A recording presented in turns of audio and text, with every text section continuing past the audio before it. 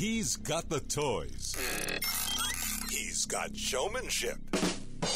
And he's got sex appeal.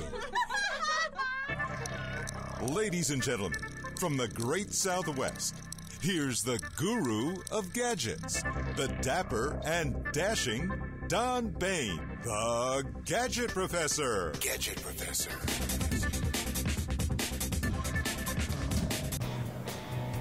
Hey, hello everyone, it's Don Baine, the Gadget Professor, coming to you live and in color from NAB 2017. We are back from our break, 10 second break, at NAB 2017, of course, and we are coming to you from the Las Vegas Convention Center. And I have been doing uh, an interview, a new interview, every 15 minutes since 9 o'clock this morning. Wow. And uh, right now it's a little bit after 1, and we are going strong, no break in the action.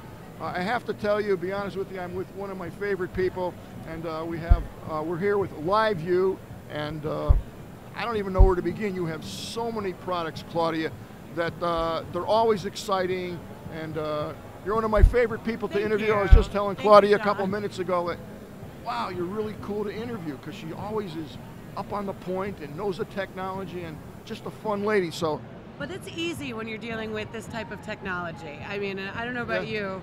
I hope you get some time to take a break and walk the show floor because the technology here is amazing. Um, Yeah, well, it's a lot of you know, fun. Broadcasting tech is interesting. What's happening in online streaming is interesting. And even the show has changed with the Yeah, it drones really and has. It really has. Uh, immersive technologies. It's a really interesting place to be. I think this is my fourth or fifth year that I've interviewed Claudia. I can't I can't remember. Huh? At NAB, it's the second. It's the second Yes, one. yes, okay. Oh, I've interviewed you prior to that. I Oh, know yeah, I have. Yeah, yeah. yeah. other shows, yeah. So uh, I've been using the Solo actually, and uh, had some phenomenal results with it. And uh, the Solo actually is one of the perfect things to use in this type of an environment. Uh, why don't we talk a little? I'll let you talk about it. Sure, sure. So yeah, so our LiveU Solo unit is essentially the the baby-sized version of what all the major broadcasters use today. Um, but it's geared for really being able to do some very quick, very reliable live online streaming, especially nowadays where the new online outlet could be your website.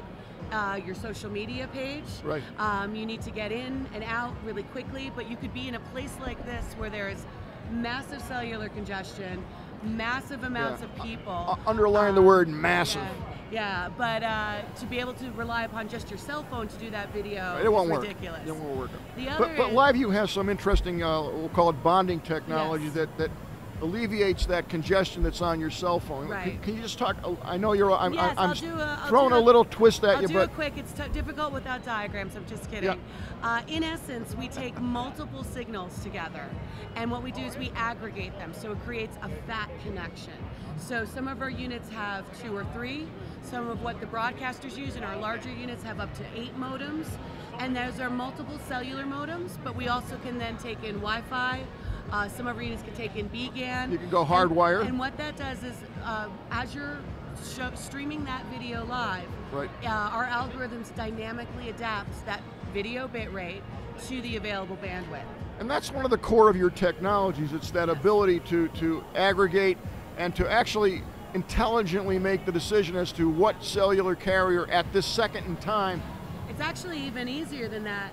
It's not deciding which one. It's it's creating them and putting them into one. So if one drops out, you still have the same fat connection. So it's not redirecting and picking. and But it's all automatic. It's- It's, it's- all yeah, that's what I'm saying. happening, and it's totally Right. transparent to It knows user. what to do intuitively, Correct, if you will. correct, yeah. it's, that's what makes it work. It's So, really and cool. Then, and then what we just do is make different types of delivery mechanisms for that technology. So for solo, um, that's definitely done for workflow for someone who wants to take that single stream and go straight online. For our latest product that we unveiled here, we actually unveiled it last year, the LU600. It was an HEVC or H.265 ready uh, unit that has a lot of other features uh, and benefits. Now today here we're showing our HEVC version of that, and that is definitely transforming what the major television broadcasters are able to do, both from a video quality to compressing that data Right. down now. Right. So now you have that cellular bonding, but you can get, you can, you're using less data with that uh, encoding technology. Um, as well as a variety of other features, including getting 4K quality. I mean, there's a lot of different aspects that are happening with what is a core bonding technology, but now encased in a highly functional, highly dynamic encoding unit, portable Now unit. that device was just announced here. Yes, yes, okay. yes. And what's the price point on that? So an HEVC version is a twenty-two thousand dollar piece of equipment, plus or minus change. Um, but uh, and then that's and that's the basic price point. We have different leasing options and different uh, packages available, including data solutions for that. Because with that unit, you also have a data bridge functionality, so you can actually use it to transfer the large video files Right. from remote locations. Um, especially also, uh, there's uh, unique rental packages because you'll have people that'll do it for a specific unique event where they're actually doing at-home production. So here you're, these guys are producing it all right here. You can't Right. see, but oh, you can see behind the scenes when they pan. It's all right here. A lot of cases now, especially in sporting events, they're sending multiple cameras and multiple crews around, and then they are actually now wirelessly transmitting that video live Right. to the at-home studio. So there could be spring training in Florida going back to the studio in Boston, and that's where they're switching between the different camera angles, putting the graphics on, and then going live for the audiences at home to watch. You know I'm from Boston. Yes, so NESN, who covers a lot of the Boston Yeah. teams, is one of our customers. Oh, is that right? I didn't know Yes, that. yeah, I didn't yeah, know that. Yeah. You have Yeah. some very prominent customers, actually, people who are using Yeah. live. You want to tell? Name a couple. Go ahead. Oh, drop, well, just I- drop a couple names. we just turn the TV on? So yeah, everyone from CBS, NBC, Fox, all the big guys, um, but also a lot of the sports networks, um, a lot of cable stations, but of course also the big online players now. So the typical on-demand television companies are now Right. getting into not just on-demand streaming, but live video streaming. Well, I think, So- uh, well, certainly as you walk around here, I think, uh, you know, years ago you didn't see that many, you know, people streaming, but now I think uh, literally Yeah. almost everybody I think is. we could probably you probably watch the audience go by and everyone's got their cameras yeah, out exactly, doing something. exactly. Yeah, yeah. And a lot of them have the little solo devices attached to them. Well, and what that does now is, you know, the phones are great, the camera quality on phones are awesome, but you're limited in the bandwidth with that. But also, let's be real, you know, if you're going online, your brand is is you. So gone are the days where you really want your audience to see a really fuzzy or yeah, pixelated they used to expect that and live with that. But now, today, no, that's they gone. expect the same thing that they're going to see when they flip on the television. Yeah, it's kind of interesting. So- A lot of that wasn't necessarily their fault. It was just the technology at the time. But through Correct. companies uh, developing newer and greater, uh, you know, the latest and greatest technologies like LiveU, y- you're, the expectation is, is excellence, and that's that's what you guys have always delivered, really. And you know, it used to be very expensive game, very expensive camera equipment, very expensive backpack units. And now the technology has gotten more affordable. Oh, yeah, absolutely. And now you can And plug smaller. it into a basic DSLR, Yeah. and at least now you're getting a better quality image, sound, lighting Yeah. than you ever can on a on a phone running around. A- absolutely. You know, the other thing I, I, I like to point out to people, and I, I get a lot of questions. You know, what do you use to stream? What do you use to stream? And I, you know, the Solo Box, it, it, it just works, but it's portable. Yeah. It's small. It works on battery, and uh, Exactly. I, I just love that device. Yeah. And when you're here, there is so much RF energy. There is you- a you're lot just going on, yes. bombarded, and you, you don't stand a first chance in hell, to be honest about it, to get out. Right. You just can't do it unless you have a hard wire. Plus, and we're that's, encased in concrete and steel right now. So, yeah, exactly. and that's where the LiveU products come in. That that's what they're for. That's yeah, what so they're now for. we're seeing it being used so that for drones to do live streaming from drones, we're seeing it used for basic running around run and gun type activity but in essence it's also uh, like an augment to the normal broadcast Right. so that you can do your normal broadcast but then you also have now this portable ability to go run around and bring Right. in additional great information for your audiences at home Now this morning uh, I was live and I was getting in a, a couple questions from people. I, it was hard kind of doing the interviews. It's hard and to do it all yourself. Yeah, I've and, done and- it. It's and- not yeah, easy. and, and Yeah. I'm watching my iPad and people are actually you know tweeting in or asking in questions. And uh, I had two or three questions uh, asking what what the ideal rig would be to, to stream something you know using professional equipment, but yet not not breaking the bank. And I have to tell you.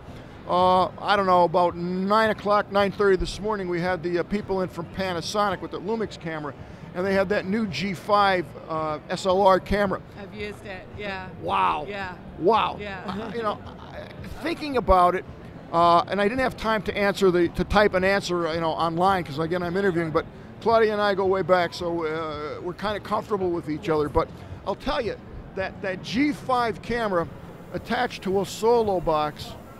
That's honestly, I, I did a video before I went out to South by Southwest just to show people what I was bringing on the plane with me. Because I was a one-woman band. Right. I was out there to do some of our own live Right, streams. right, right. right. So I needed to have a, a camera that I could use. Yes. Um, but that would look good. Uh, Don't- don't let this lady- Solo, and my solo unit. But you're absolutely right. To have to set up your stream yourself. Okay, the solo unit makes that super easy. For to have sure. to set up the camera, put it on a little tabletop tripod, and find a cute backdrop. Okay. I would have loved to have been able to actually interact on our Facebook page with people, Yeah. but it is very difficult when it's just yourself. yeah. But I, I showed everybody, I said, this is my Rode microphone that I'm bringing. This is the light I'm bringing so that I, if it's, if it, which it poured the first couple days at South by, so it was Right. a nightmare for lighting. Um, but so that I, if I'm doing this stream in this big crazy environment on the streets of Austin, Right. I wanted to make sure people could hear me. I had my DSLR. I was using a Canon for that one. Okay. Um, but essentially, I threw it all out there, and the entire contents, including the solo unit and the monthly cloud fee for the streaming, was it's around thirty-two hundred dollars, which is amazing to think. Yeah, it's I, a- and it all fit in one carry-on. Yeah, five years ago, you. I mean, I could run around yeah. town in. Yeah, five years ago, it'd be a dream. It'd be a dream. But it, it, it is. We also get the same question too. Well, this is great. I have this unit. What camera should I use? What are some things I should be thinking about? Yeah. I mean, I'll even tell you since we're talking about it right now. One of the biggest is to make sure that your camera can output the audio and the video on the same. yeah, I was just going to ask you, what do you, what did you use for audio? Did you use an external mic or So Zoom, or did you? ex- I had an external, uh, the mic, um, The mounted Rode? in the cold shoe, and it went in. Okay. It was So you had a little shotgun Yes, mic? Okay, right. Um, but the idea is I needed to make sure whatever camera I picked up had uh, audio and video on that HDMI because you're taking that Right. single stream into the Right, into- encoder right. in order to stream. The other is, and this is kind of interesting, a lot of the DSLRs, because they're not video production Correct. cameras, That's why I like that GS5. yeah, that is a nice camera. Yeah. But you just have to make sure that you can turn the camera controls off. And the camera controls are what you see in that little Yeah, yeah, viewfinder. yeah. There's a lot of them that you can't. Absolutely. So when you when you record a video, it doesn't show up. Right, you're seeing but that. if you're live streaming, it's streaming what's on there. So your live stream will actually have the white balance and the stop and start Yeah, button. yeah, you don't want that just a tip and trick if you're looking to put your own kit Yeah, and, together. and the thing is, Yeah. if that happens, I can just turn it off. I'm like, whoa, where, how did I turn that off? How It yeah. drives yeah. you I've run into it before, and they're like, "Your. Facebook looks great, but we can see the camera controls." And I'm like, oh.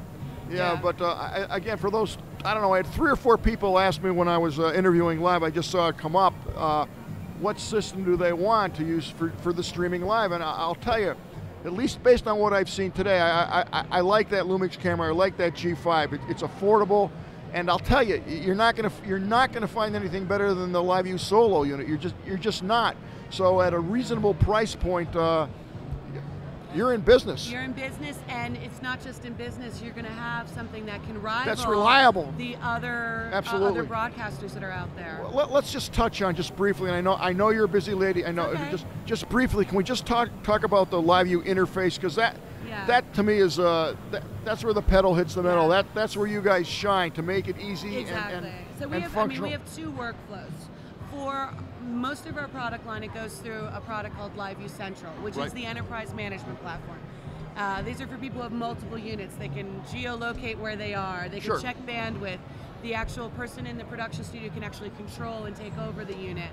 Um, for solo, we realized not everybody's got a broadcast engineering degree. I don't. Um, but uh, we needed to have that same ease of use that people are used to when using an app. Right. So we took the same, we said, forget LiveU Central, let's make this a simple web-based portal. So that from a phone, an iPad, or a computer, Right. I'm not lugging my laptop around when I'm doing remote live streams. That's the last thing you want to do. So from there, what it is is I, my unit's on and it's online. I can go into the portal and log in, and then from that solo portal, I actually have one-touch integration to either Facebook, Twitter, uh, YouTube.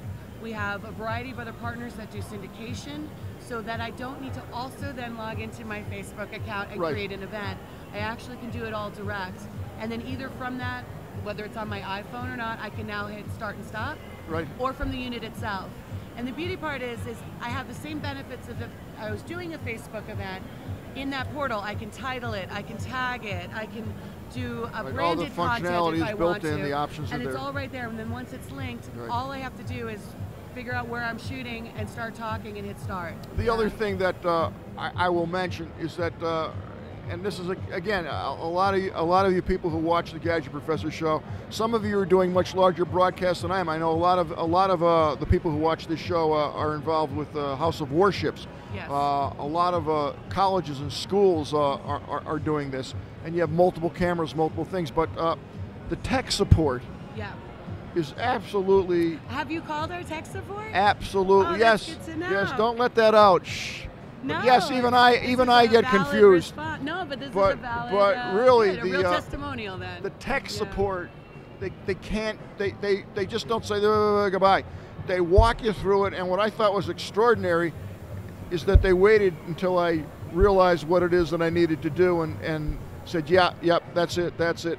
That, that, I'm going to let them know. Okay, but that- good to let the team know. That is something above and beyond the call Yeah. of duty. And I haven't called that many times, but the two or three times that I have, I was in a pinch and I just didn't know how to do Yeah. something. Well, I will tell you something. That's normally what happens. It's not a question of how does this work or it's not working.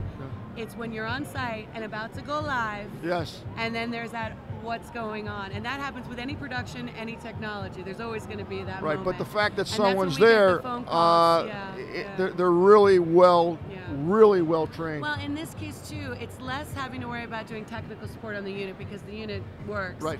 It really is somebody who's maybe not familiar with having set up their own live stream themselves, or they're on site and they. The cool thing about I keep picking up my little toys. it's not the unit. This is a little mini version of what we're giving away at the show. But what's great on the actual unit itself is you do have a display, and people may not have actually gone through that to say, oh, I can see how much bandwidth I have. Oh, I can connect to Wi-Fi. And it's simple things like that that's great to go online and do it when you're home at, and have time, but when you're on site, to be able to pick you up know, a the other thing is you- the show's somebody gotta go on. It, it's, it's good to yeah, have. yeah, yeah, like I don't want to know what I forgot. Just I need it to work. I need it to work now, especially you know when you're when you're going live. And uh, that's that's one of the reasons, one of the many reasons why you know I prefer and I actually do use LiveU. I can use whatever I want. I have most uh, most of the companies that I know are very happy to give me equipment and let me use it. But I I just love working with you guys, well, and I love next your. year we're gonna do some stuff where you start running around the hall with the solo unit. Yeah. You can come to my booth and do it. okay, we'll definitely do that. Excellent. Claudia, you're always a- a pleasure. Thank I can't you. thank you enough. I know great. you're real busy, so uh, Thank you so much for having me It's a pleasure again. seeing and it's good you. talking to everybody again. Yeah. Yes. Yeah. Thank you, Claudia. We'll be right back. This is Don Baine, the Gadget Professor. We'll be right back after this station identification.